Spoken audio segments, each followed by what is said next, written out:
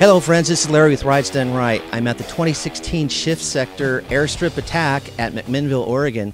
And this whole weekend, uh, they've been flying helicopters around and seeing all the, the, the car exotic cars passing down the runway.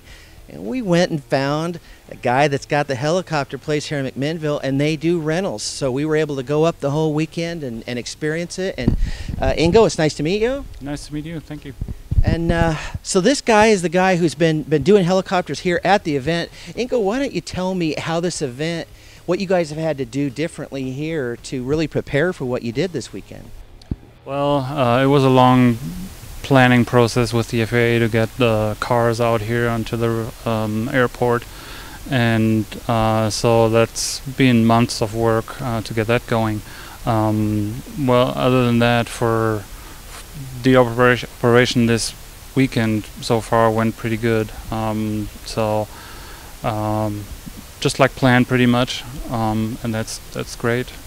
What's been one of your biggest challenges so far? I mean, we're in uh, really, I, I can't say it's day one because I've been here earlier in the week in Monday. You guys have been working this thing not just this week, but for a long time. What, what was maybe the, the biggest challenge so far? Uh, the biggest challenge was to get everybody on board so that everybody can still do what they usually do. So we didn't want it to have the airport operation impacted. Um, so the the second runway is open, and uh, general aviation and small uh, jets uh, can still land uh, while the races are going. So um, and that was a challenge. Um, and that went just perfect. And we got everything. Everybody's happy was able to do what they usually did uh, with minimal impact. And uh, that was the biggest challenge. I was amazed to see that. We were out there and when you see what is going on in this whole event all the people and and the fact that you have uh, the taxi lane, and then you have like a secondary lane there. You have the the main runway, and when you're able to look around and see that planes are still getting in and out, they're taxiing around the back way. I thought it went. The whole event so far has gone beautiful. I mean, I hate to. I don't want to say what do you knock on the wood, but it's it's been great. So um, for us, one of the one of the the fun things is obviously I had never been in a helicopter before, and uh, I'm scared of heights. I don't do rides on on uh, the fair, that kind of stuff. Uh, I don't like where I'm not in control. When I go in fast cars, I want to drive. I don't want to ride. I just don't like not being in control.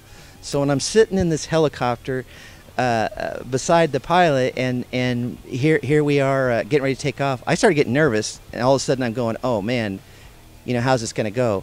Literally, we got like five feet off the ground as we were starting to go, and it was fun from the very moment we started taking off to the very end. I could not believe the experience by comparison of a helicopter to small planes. My brother has a four Cessna seater, a four seater Cessna, and I've been up in it, and and this is nothing like it. Very fun. What do you guys do for the rentals, and how has that worked with you guys this weekend and in normal business? Um, well, this weekend we've been flying pretty much nonstop. Uh, we did rides here at the airport uh, earlier in the day. We had a couple rides uh, off of the airport, um, and um, that's basically what we do all year round. So we fly all year round, weather permitting, um, and we do scenic tours out of the McMinnville Airport, out of Portland downtown. Portland downtown has a helipad, so we can land right there in downtown on top of a roof. And uh, we give rides from there. So tours around Portland, Columbia River Gorge, Mount St. Helens. Um, that's from Portland. Uh, from McMinnville, we do the coast. We do uh, a lot of the local vineyards. Um, so either just scenic tours or we do wine tasting flights as well.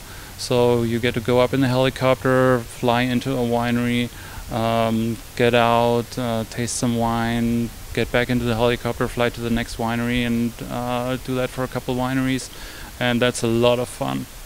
Now, I bet that's a business in Oregon with it be, wineries becoming such a big deal now that as more and more people find out they can do something like this, this ought to explode. I could just see this really being big. It's it's a lot of fun, and um, we're we're we're busy, uh, so that's really nice. Um, yeah. So, and besides that, we do some other stuff like special events as well. For example, like wedding exits. It's a really fun thing to do. So you know, after your reception, we fly in in the helicopter and uh, surprise the crowd. Nobody knows about it. You know, we land at wherever the event is, if there's enough room. You know, like a golf course or the bigger events that have like a grass area. We uh, pick, land there, pick up the bride and groom, and fly out into this well into the sunset or if it's at night we fly into portland at night which is really beautiful one of the most beautiful flights. So yeah. I, actually anybody who knows the portland scenic area so incredible anyway and and uh, my wife always freaks out when we go over the bridges and she like no i can't look and enjoy the view and it's like this is one of the prettiest scenes you'll ever see is portland at night but to do it in a helicopter that raises the ante. One of the things uh, that this kind of leads into is of all the kind of events and things that you've done, specialty events, what's like been? Is there been one that you just thought, wow, that event, that was one of the coolest things we've ever done? Um, I, I think the weddings are pretty pretty special. Uh, we had a, um, we had a special event for somebody like a second wedding. They uh, they wanted to renew their their vows, and uh, we landed at a, a private property uh, where there was enough room, but there was tall trees all around it. So you have to, you know, the only way to get in there is in a helicopter, come vertically down like 50 feet. So that that's that's really cool. That's where flying a helicopter is really that's like, this is what helicopters do.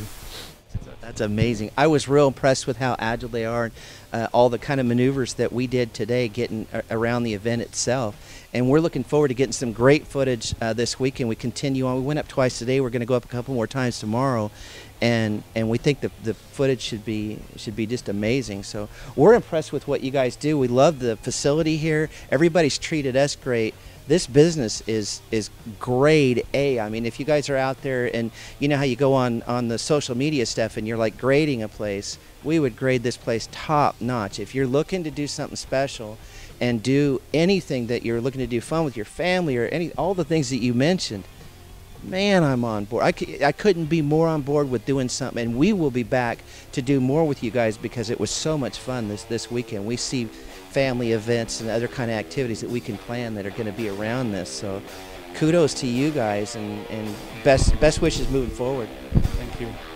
Thank you guys and we'll see you next time.